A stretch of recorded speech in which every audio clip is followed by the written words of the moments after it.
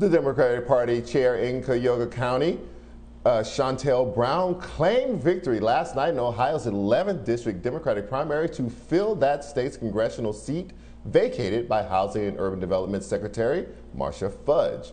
Brown defeated former Ohio State Senator and former co-chair of the Bernie Sanders 2020 presidential campaign, Nina Turner. Many thought Turner would become the next black progressive to join Congress. Her ability to secure early endorsements from people like Sanders and AOC, her campaign's substantial financial edge over other candidates, and early polling projections that showed her well positioned all made her an early favorite to win the contest. But Turner's history as an unapologetic critic of President Biden, Hillary Clinton, and other Democrats was used by her detractors to wage a proxy war between the Democratic establishment and progressives.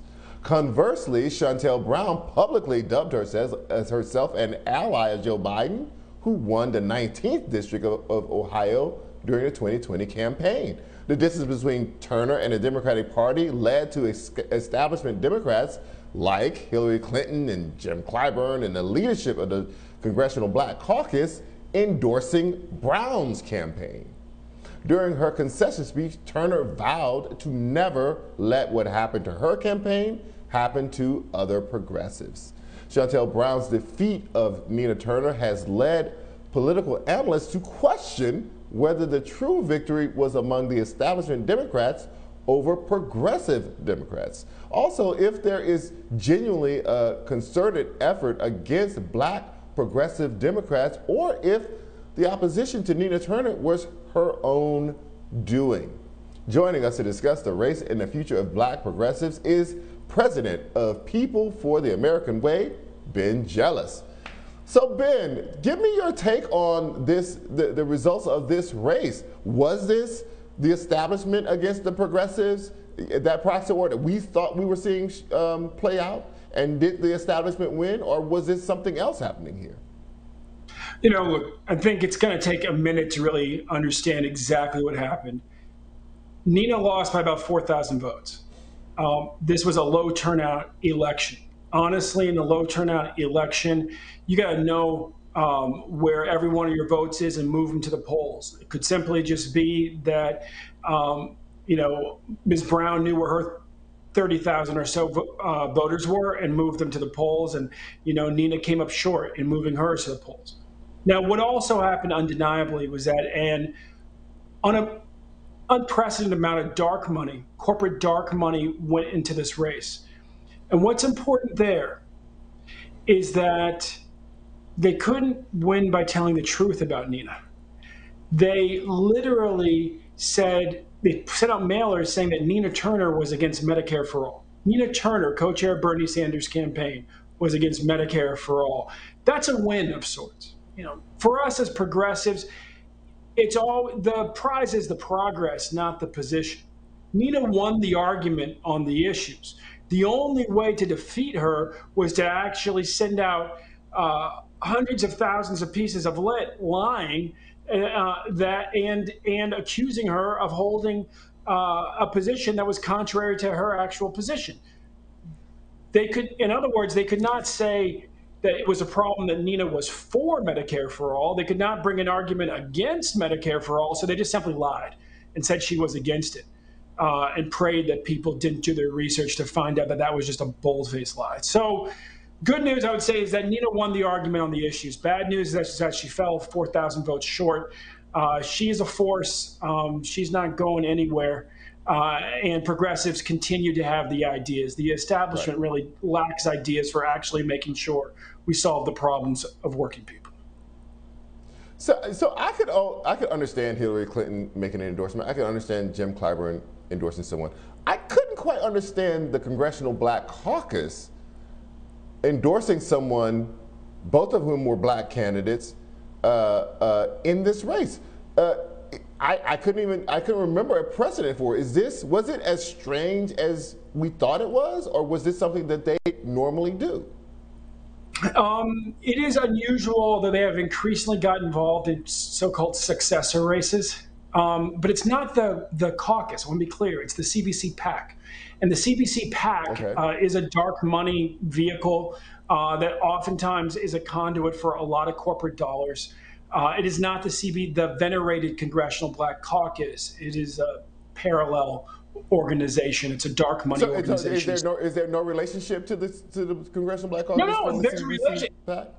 It's associated, but it's not the CBC that endorses. It's the CBC PAC. The CBC PAC has different leadership from the CBC. The person who's the head of the CBC is not the head of the CBC PAC.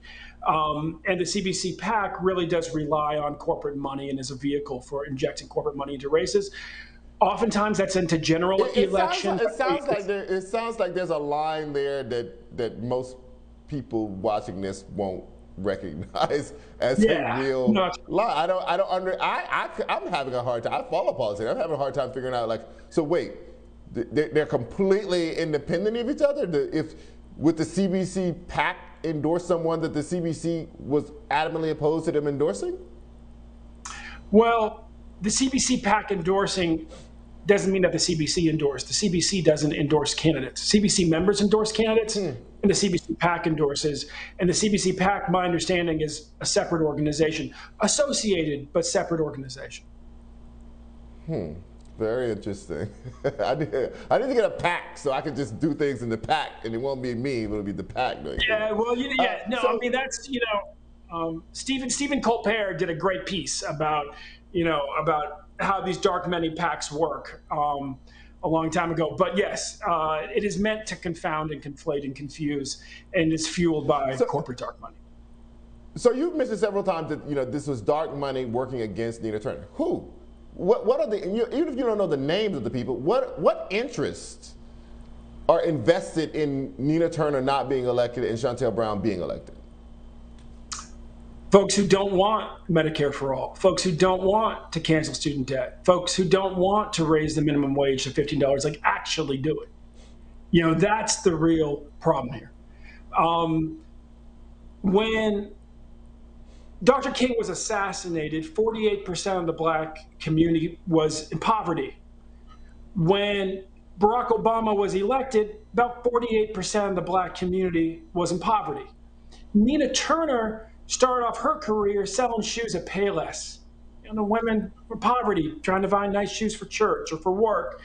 Uh, typically was the kind of the core group then she worked for the school board. Then she worked for the mayor. Then she was a state. Then she was on the on the city council. Then she was a state senator. Then she was a voice that cut through the media, advocating for the class of folks that she comes from and that she taught as a community college professor. And her only crime is that she was too enthusiastic about ending poverty in the black community, and that's a problem. That's a problem. And when so, black leaders are taking so money from see, corporations to attack black leaders who are have the urgency that's appropriate for ending lingering poverty in our community and our country, that's a real problem. So, do you see this as just a one-off, or do you think that, you know, uh, you know, progressive won some impressive? I mean, I went through it in my governor's race. I won my primary but I ran into you know an establishment in the in the general who was very uncomfortable right. but, with but me what, simply I saying. I guess what I'm asking though, I'm, what I'm asking though is that this political environment is slightly different from the 2020 political environment where people were trying to get rid of Trump and, and, the whole yeah. thing. And also, also COVID is raging again. Uh, there's violence in our cities that just wasn't there in the same way uh, during, uh, at, at, the beginning of the uh, the last election. Do you think that kind of conditions on the ground are somehow working against the progressive message? and people are now just feeling more comfortable with establishment candidates, or that this is just a one-off thing that that progressives will get past and we'll have progressive candidates who will win uh, just as much as they won in the last election? Yeah, I mean, it's uh, each race is different. What I would say is that money matters. What what was unique about this race that had never happened before that anybody can recall in Ohio's 11th district was $3 million in corporate dark money, came in late, and trashed the leading candidate relentlessly. That was completely unique. Democrats going to corporations, going to wealthy Republicans, getting money to attack Democrats in primary while hiding their hands because it's dark money so you don't have to say who did it just drives Wait, home wait, the ben, point. ben, I, just- I just want to make sure. I just want to. I want to underscore something you just said. You said that Democrats went to Republicans to get the money to trash Nina Turner. That's what you believe about this? Yeah, well, brother, all you got to do is go through Shontel Brown's finance records and look for people who supported Donald Trump, like Robert Kraft, who gave her twenty thousand dollars. Like it's there in black and white. It's not about what I believe. It's about what the finance report will tell you. And then you, and then you know, when you consider who are our corporate leaders, I mean, I guess you could believe that every corporate leader is a Democrat. I, you know, I, come on. you know, so so the combination of you got prominent Republicans who've written checks to Donald Trump, writing checks to Shontel Brown, and then you got these PACs that, that historically have taken large money from corporations lying and, and the, oh, the best they can do is send out a mailer saying Nina Turner opposes Medicare for all, which couldn't be a bigger lie, specifically because they oppose Medicare for all, but they can't make an argument against it to convince the people. The best they can do is confuse. Ben Jealous, thank you so much for your time. Always a pleasure, sir.